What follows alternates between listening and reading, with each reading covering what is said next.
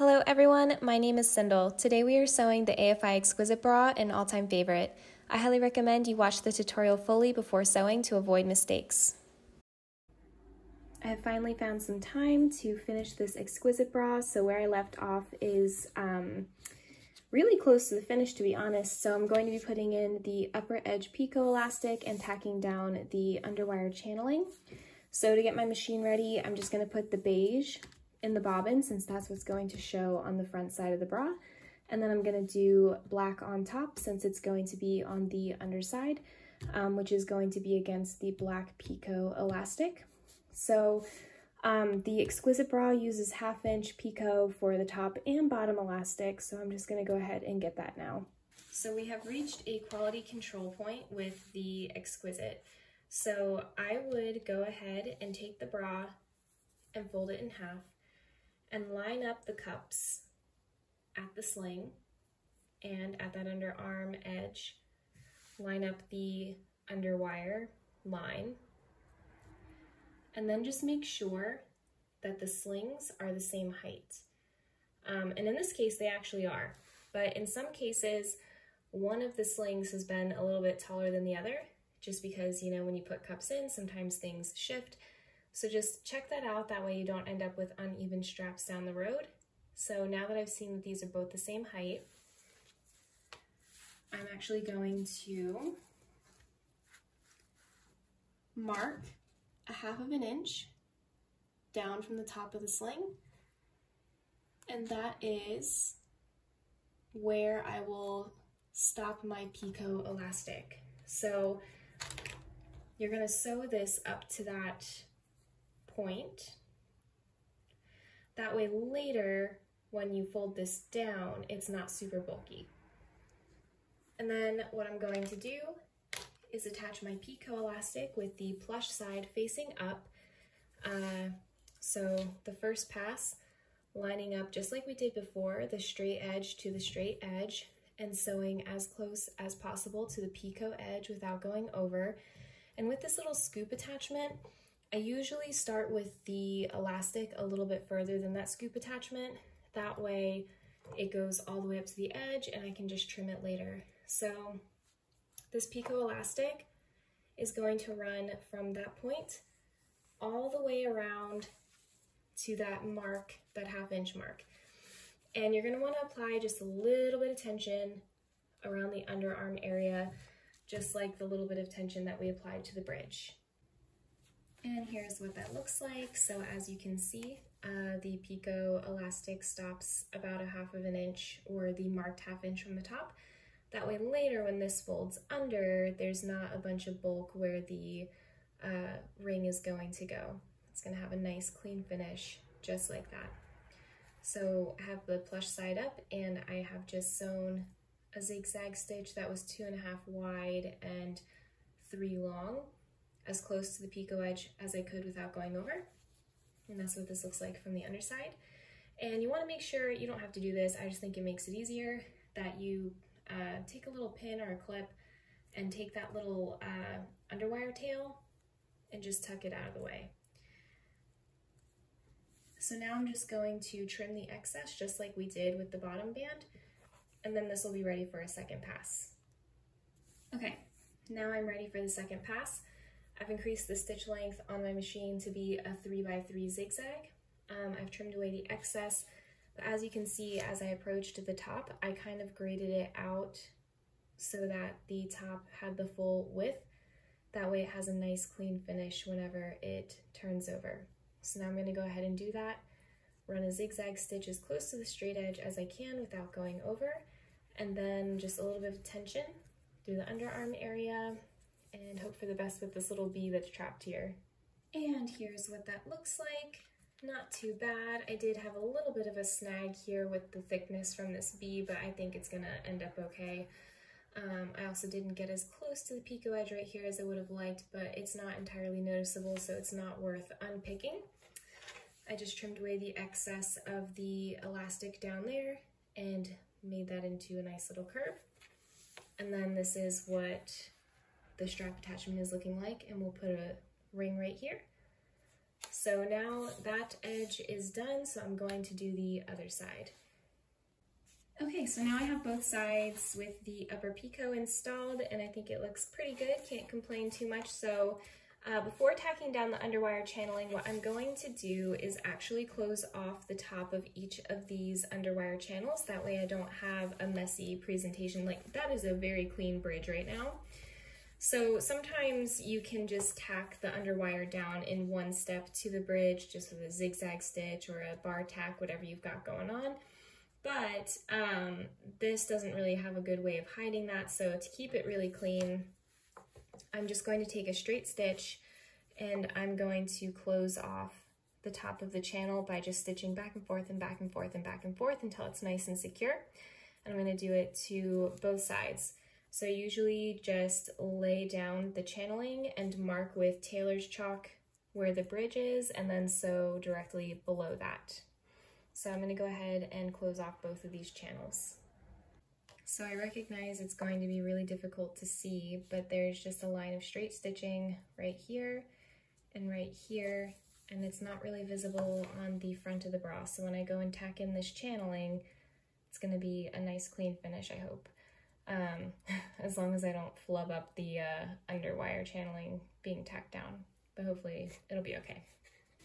Okay, so now we are going to be tacking down the underwire channeling. So I've made sure to switch out my bottom bobbin to be beige again because it's going to show on the front side of the bra. And what we're going to do is tack the underwire channeling down. So we're going to be sewing with a straight stitch as close to this edge here as possible. I usually do a three length and I start up here on the elastic and do a little bit of a back stitch and then just come down and follow the underwire. And then when I make it to the center, um, when I get to about here, I start raising and lowering the foot and I'll put the second piece of channeling because what I'm gonna do is I want to get it to a point where my needle is up and then when I put the other part of the channeling down, the next time I put my needle down will be right here at this apex and then I can pivot and keep sewing. So I'll try to see if I can get that on film. I think it's gonna be a little bit tricky, but I'll see what I can do. Okay, so I've sewn the underwire channeling down up until this point. So the bridge is right here.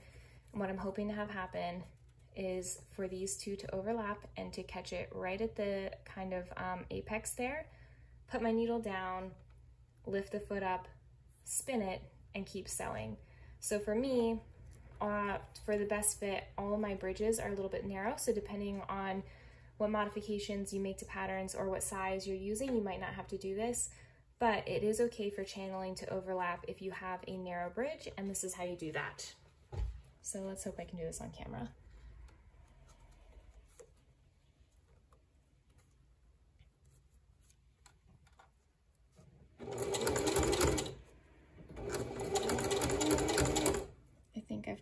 Just there. Mm. One more. There, now I've definitely got it. I felt the thickness change. So now I'm going to lift my presser foot up, rotate it like this, put this down, and keep sewing just like normal. So I'm not gonna lie, to me that is the most stressful step in the entire process because it's very obvious if this doesn't line up quite right, but I think that this looks super clean. I am so happy with that. It is just slightly more angled that way, but uh, probably to the common looker, they're gonna think it's pretty spot on. Honestly, it's, it's really just, you know, off by the tiniest little bit. Um, and you see we've closed in our Gothic arch. Uh, and when we flip it over, the straight stitches are here, so that's nice and tacked down. So what I'm gonna do next is just trim away the excess channeling at the center, but I'm gonna keep the excess channeling up here because it's gonna make it a little bit easier when we feed that underwire through in a minute. I do anticipate this to be quite the challenge. This bee is really bulky right here. Uh, it's not looking too good for me, but um, yeah, now we are really in the home stretch. So I'm gonna trim this And then I think we're going to go ahead and put the rings on. So for most bras, you're going to need a set of rings, two sets of rings and sliders. So two sliders and two rings. And right now we're just going to work with the rings. I'm using, um, this is a gunmetal color ring. And all I'm going to do now is feed it through right here. And then I'm simply going to tack it down under my machine. So it's a little bit of a tight squeeze, but you'll want to run the stitching right down here. Um, I would do it to where your bobbin matches the bra color here uh, so that it's got the nice color on the outside. So I'm just going to do this to both of the strap attachments. Now here's what that looks like, all attached. So it's good and secure and it's not bulky, um, but if you would have continued that elastic all the way up, you can imagine it would have been really bulky through here. So now you've got a nice clean finish for this strap attachment. And so now we're going to go on to the part where we are making the strap. So the first thing you're going to do to make the straps is cut 18 inches, two 18 inch um, segments from your strap elastic and then you're going to take one of those sliders and you're going to feed your strap elastic through the center part of that slider and you're going to go right side out. So shiny side or whichever side you want facing out is going to be on the outside of the slider. So this is the shiny side. Shiny not shiny. And I'm simply going to run a straight stitch securing this down right here. Alrighty, so now that has been tacked down with a line of stitching. Um, I've only folded over maybe a half of an inch here to create this. Um, so to attach this strap now, I'm gonna take the bra and I'm gonna run it with the matte side or the not good side, not outward facing side, through, gracious, through the ring. Um, and then with the shiny side facing out, run it through the slider. Oof, having a time. You know, when you try to get this on camera, it never goes on the first try.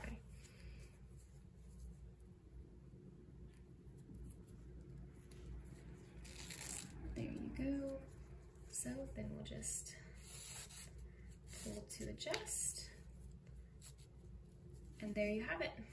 Nice and attached, shiny side out.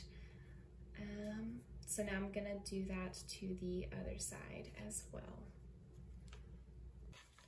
So now that I have the straps attached at the ring, it's time to attach them to the back band of the bra. So what you're going to do is just make sure that there is no twist. And then with the right side facing up, just kind of like with the picot elastic, I'm going to attach this to the curved edge. Um, and the elastic doesn't curve very well, but luckily the mesh does on the machine. So I would kind of keep the elastic steady and walk the power mesh underneath of it. You're going to attach the elastic to this curved picot edge by running a zigzag stitch as close to the bottom edge of the elastic as possible.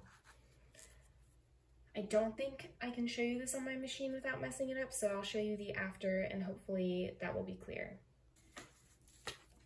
Okay, here that is attached. So as you can see, the zigzag stitch is along the bottom edge of the elastic, just as though it were picot elastic, um, and this is just a free floating edge on the inside.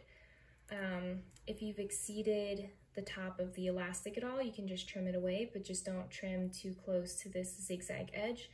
You do want to have a little bit of excess up here, that way it doesn't stretch and uh, fray out of these stitches. So now I'm just going to do this to the other side as well. So now I've attached my second side, and just for your knowledge, I was using a three by three here, just like I did for the upper edge of the, or like the second pass of the picot. So now that that is done, the only thing left to do is attach the hook and eye and then the the wires and closing those off. So really in the home stretch here. So this is the hook and eye that I have for this bra. I uh, tend to prefer the three high hook and eye. I just think that it creates a lot more support and a better fit. So if you know anything about bra construction, really the bottom band is everything. If your bottom band is not snug, then the rest of the bra is not going to function or fit like it should. So even though I have a smaller cup size, I do prefer the three high hook and eye because it makes the fit so much better. Uh, that being said, when you are looking at the bra, if you flip it so the guts are facing you, you'll want the hooks to be on the left-hand side and the, um, I guess those are actually the eyes. You want the eyes to be on the left-hand side and the hooks to be on the right-hand side. I guess it really doesn't even matter as long as it gets around your body, but typically eyes are on the left and your hooks are on the right. Some people actually take a glue stick and glue this part prior to putting it in the machine, but I'm afraid that it'll get all gummy if I do that. So I just kind of do a lot of the fitting at the machine. And so um, what you're gonna do, and I forgot a very important step, and it shows, darn it, so need to back up here a second. I just unpicked where I attached the strap onto the back wing because I forgot a very important step and I've actually, I don't think I've uh, forgotten this step before, but at least it's super easy to fix. I just unpicked that little bit of stitching and what I'm going to do, so what happened is I went to go attach the hooks and realized that the back of the bra was slightly taller than the hooks. So what I'm gonna do is line up with the bottom picot there, the hooks, and you can see that my back wing is just taller by the slightest bit. So I'm just going to trim that littlest bit off so that the eye attachment, the hook and eye attachment is the exact height of the hook and eye. So just, it's, it's not really super scientific. Just trim that.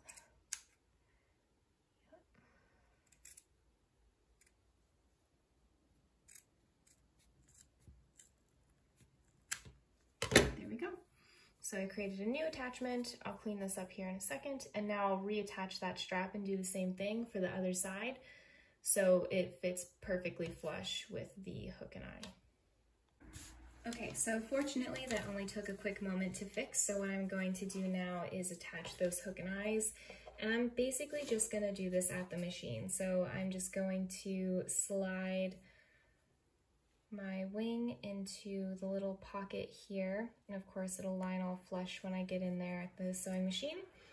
And for me, everyone has different ways of attaching their hook and eyes. What I like to do is actually run a zigzag stitch dead center over the hook and eye attachment and then sometimes I will go back and do a straight stitch over it. But I just find that that makes it all flat and um, sometimes with these uh, hook and eyes they can have an itchy spot on the edges and for some reason putting a zigzag stitch over it keeps it from being itchy.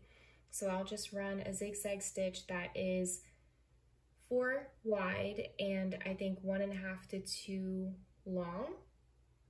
Yeah. So a really wide stitch, but close together to connect the hook and eye with the wing. So I'll go ahead and do that and be right back. For this, it's super easy because you just center it, but for the hooks, it's a little bit harder since they're kind of right close to what you're trying to sew. Okay, and here that is attached. It's probably a little bit difficult to see, but the zigzag stitch is right over this edge, just catching this mesh and always do a tug test to make sure that, and I'm pulling quite forcefully, that the mesh actually got caught in here because uh, when I first started making bras, sometimes when I was sewing, um, the mesh would slip a little bit when it was going under the machine. And then the first time I would wear it, the mesh would pop out from the hook and eye. So that's another quality control point. Just go ahead and tug on it, make sure it's gonna be able to withstand the test of being worn. So now I'm going to do the hooks. So with the eyes, you want them facing up and the hooks you want facing down so that they'll catch those eyes. So when you sew this, I'm gonna sew it this side up on the machine so that the eyes are facing up. That way they don't get caught in the feed at all. So I'm gonna do just like before and slip this right into the pocket. And this time though, the zigzag is gonna be really hard to get dead center. So it's gonna be maybe a little bit more on the mesh. Um, but whatever you have to do to get that nice and clean and secure, but it's not gonna wanna get close to these eyes. It'll, you know, the foot will skirt around it. So kind of, and that's why I think zigzag stitches look so much cleaner because if you use a straight stitch, um, sometimes it looks a little wobbly where the foot is going in and out of these eyes. And now the eyes are attached. So once again, give it a good tug test, make sure it's gonna withstand being worn. Um, and when I attached this, I of course had the needle aligned all the way left, but when I did the eyes, I had it down the center. Um, but you wanna have it all the way left, that way it catches the edge of the fabric for the hooks. So now all that's left to do really is insert the underwire and close off the channeling. So I'm gonna go ahead and take my time and insert wire. So I usually like leaving a little bit of a tail.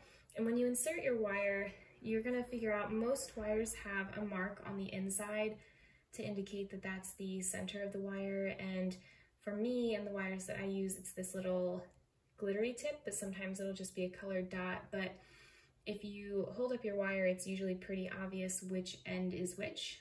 So you'll want to feed the part that is clearly the center into the center. And this just takes time, so I'm probably gonna go ahead and do this off screen. Oh, or maybe it'll be super easy for once. It's really amazing how much the bra takes shape as soon as the underwires are in there. So now I'm just gonna make sure that that underwire is pushed as far center as possible, and I'm going to tack down the underwire channeling, being sure not to hit the wire, of course, because that'll break a needle. So you'll just want to do that with a zigzag stitch or a bar tack, whatever you feel like is gonna look really nice and clean here. That way the wire doesn't pop out when wearing it. All right, so there it is bar tacked right at the top there. And then all I've done is trimmed away the excess channeling and now the bra is complete. I'm going to get some better shots of it tomorrow, but I am so excited for this. Thank you so much for watching. Don't forget to like and subscribe for more. Let me know in the comments what you want to see next.